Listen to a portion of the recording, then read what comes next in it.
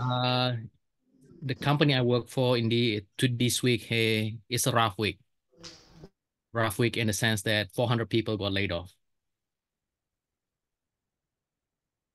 Ooh. 400 yeah. people? Yeah, 400 people, people. 400 people got laid off. So, oh my. Praise the Lord that uh, I was not part of the 400 people. And uh, praise the Lord that I still have a job. Amen. yeah.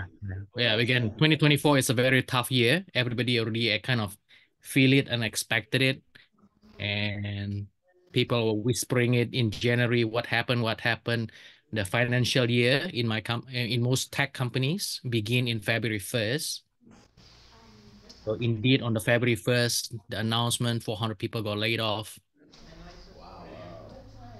Wow. So it's insane. Again, you know, we did have a, this is the second layoff ever in Okta.